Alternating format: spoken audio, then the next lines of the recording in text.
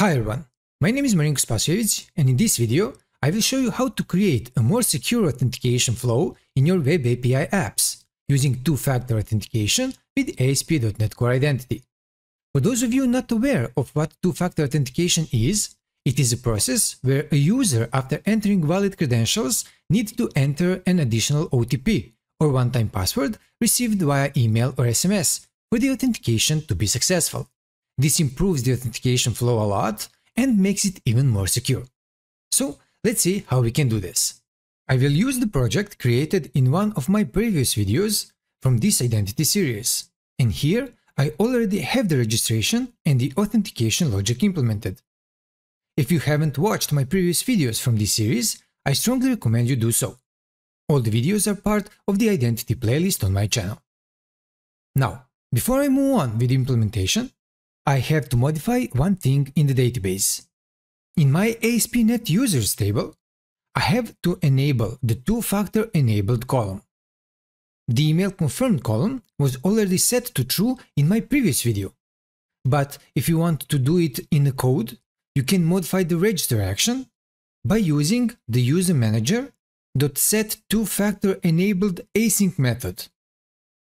Here, I have to pass the user for the first argument, and then the boolean argument to set the two-factor enabled column to true or false.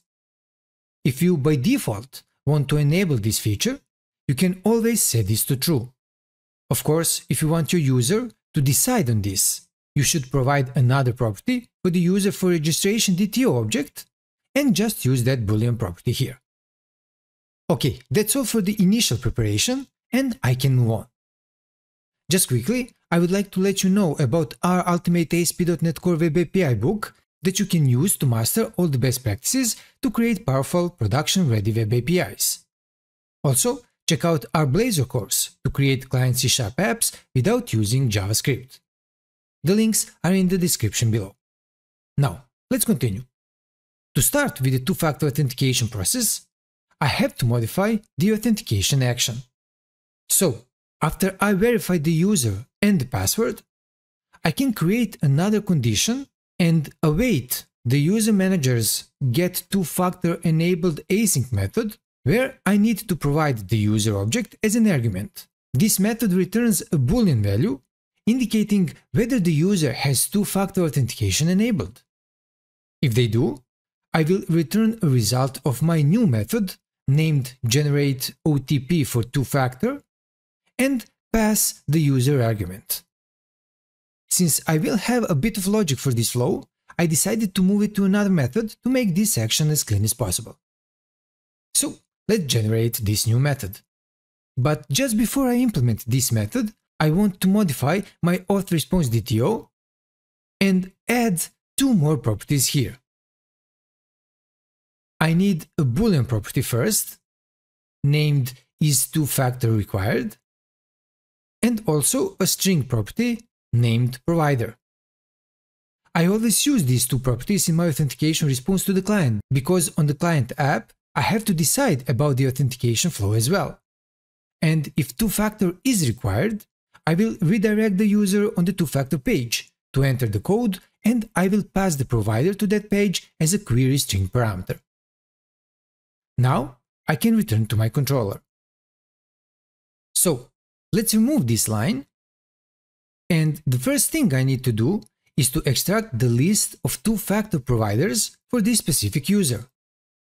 And for that, I will call the getValid two-factor provider async method and pass the user as an argument.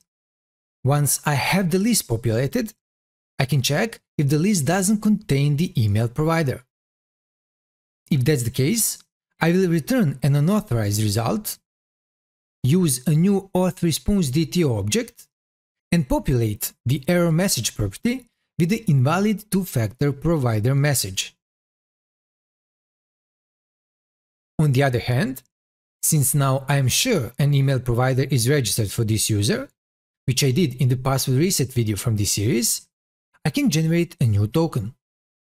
And for that, I will await the user manager two-factor token async method.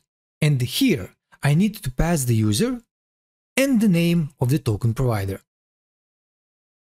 Then, as usual, I will create a new message and use my custom message class, where I have to pass the user's email, then the title of the email message. Next, I need the token. And finally, I will use null for the attachment.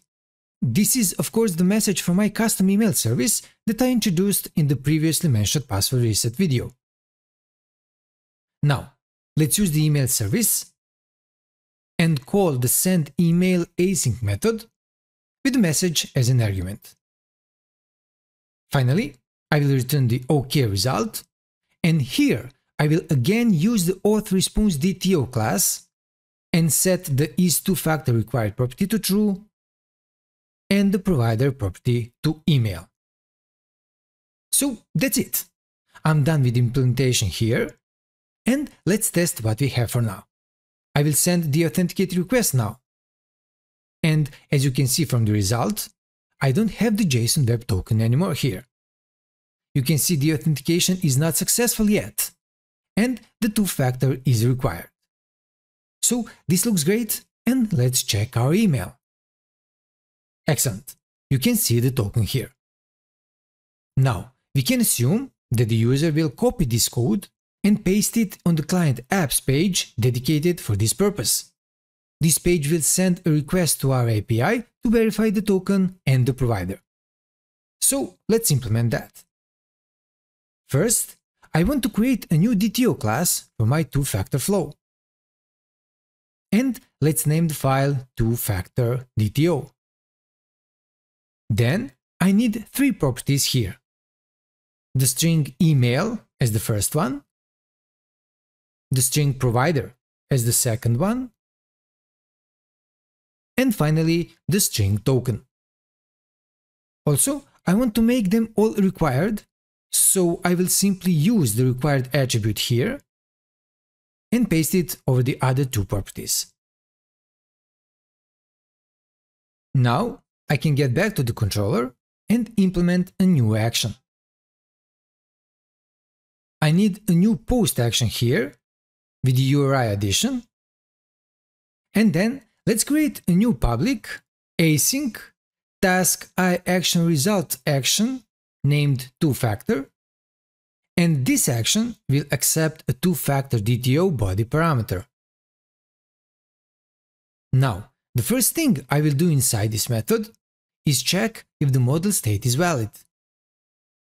If the model state is invalid, I will return a bad request response immediately, which indicates that the client sent invalid data. Next, I will try to find the user by their email using the user manager find by email async method, where I have to provide the user's email. If the user is not found, I will return another bad request response with the invalid request message. Now, I can move on to verify the two-factor token. For that, I will use user manager verify two-factor token async method to check if the provided token is valid. Of course, I have to pass the user as the first argument, the token provider as the second one, and the token itself. Here, I'm not checking if this verification action is successful or not, because if it is not, it will throw a not supported exception telling us that the provider we sent is not registered in our app.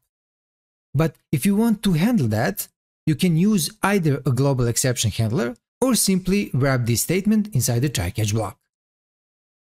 So, if the token is valid, I can simply copy these three lines from the authenticate action and paste them here. This is the same process we would do in the authentication action if the user didn't have a two-factor enabled. Great. Now let's test the entire flow. Let me send the login request again. And again, I get the two-factor required response. Also, I can check my email and copy the code from here. Good.